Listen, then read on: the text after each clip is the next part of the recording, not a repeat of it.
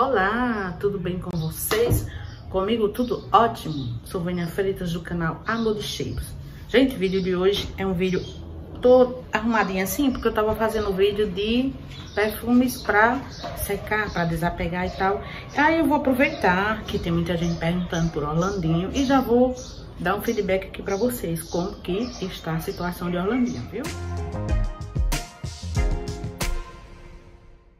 Olha, gente, é o seguinte, Orlandinho, tem dia que tá bem, tem dia que tá mal.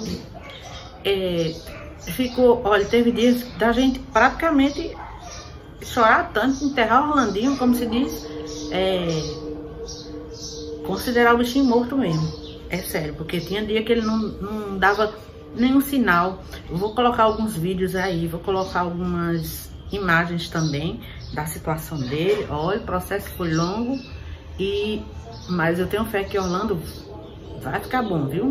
Vai sair dessa. Muita gente perguntando. E muita gente, assim, algumas pessoas, graças a Deus não chegou não. Fora a mulher que eu encontrei lá no... Aqui próximo, né? Ai, porque eu, tava, porque eu tô com isso aqui.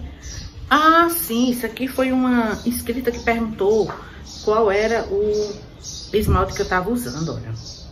Esse aqui, ó, da Vult é, Brisas do Mar. Esse aqui é lindo, né? Eu gostei dessa cor. Também eu gosto dessas cores assim. Não está combinando com minha blusa, mas... Sim, gente, voltando aqui, o assunto sério. Vaninha, você... Gente, eu, falo, eu faço assim pra desparecer, viu? Olha, as noites aqui foram tensas.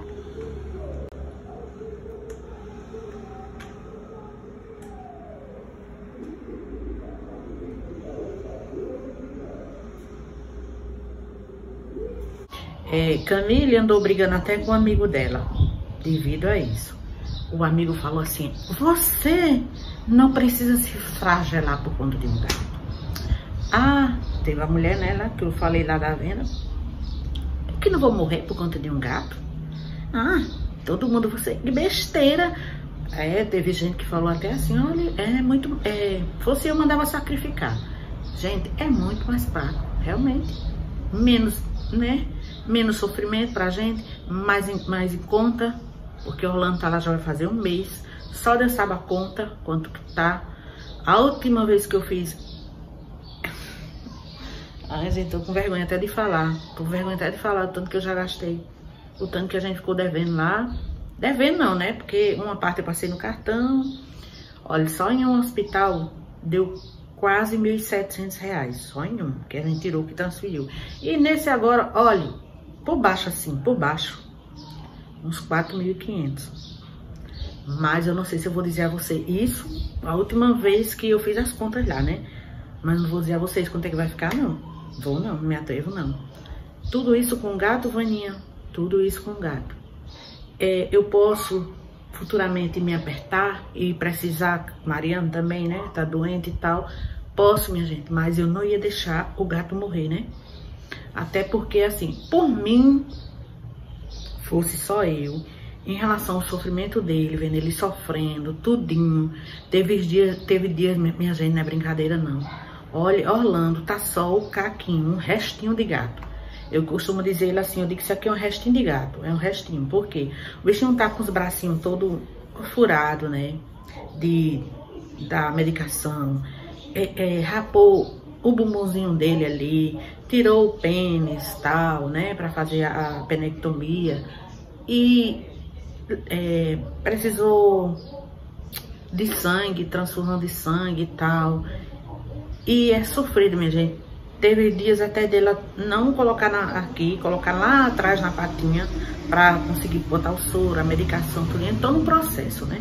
Aí vamos, vamos pensar assim, mas vinha o que, é que seu gato tem? Qual é a doença do seu gato? Minha gente, olha ele ele vai fazer três aninhos ainda. Ele é novinho, minha gente. Ele é novinho. Jamais que a gente ia deixar o gato morrer. O gatinho, três aninhos.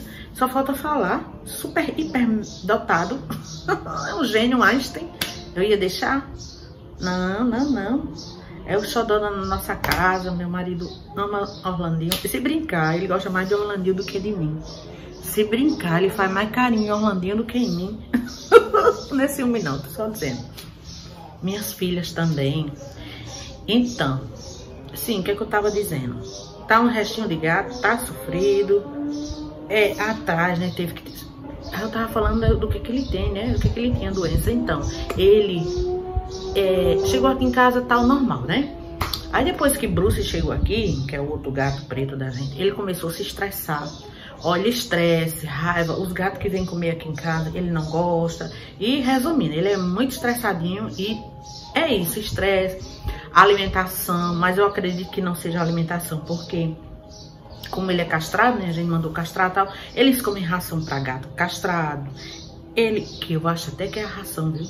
Eu acho, teve uma linda aqui que falou que o gato dela come negócio de casa, come fígado, come comida caseira. Ó, oh, vou começar, eu acho que tem a ver. Porque os gatos de antigamente não tinham isso, não tinha esses problemas e comia comida normal como a gente. É mais prático a ração, mas olha, eu tô pensando seriamente em dar comida caseira para os meus gatinhos. Então, é... Eita, a gente tá escurecendo. Agora acho que ficou melhor, né? Tava escurecendo e eu nem percebi. Então, é... Sim, aí ele pronto, aí ele começou obstruindo demais nesses estresses, ele teve cálculo, é, teve, ele tinha cristais dentro na bexiga e tal, e toda vez que ele ia, que ele ia fazer xixi, ele começou a obstruir. Obstruir normal, obstruir, alguns gatos acontecem isso, mas sempre, sempre estava acontecendo.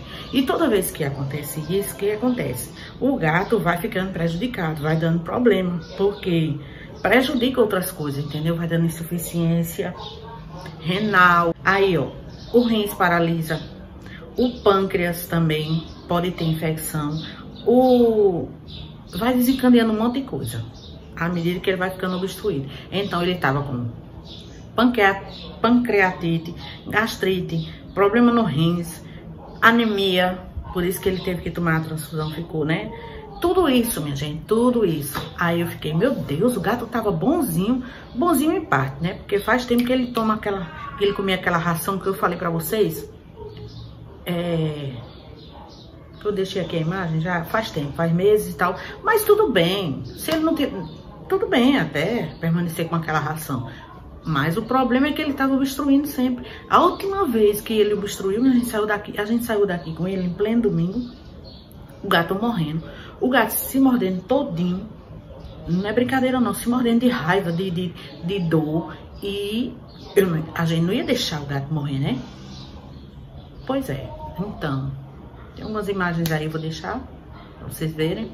E é isso, minha gente. E assim, teve dias de, de realmente de, de, achar que ele ia morrer, vai morrer, tá com problema, mas não vai. Não vai. Tenho fé em Jesus.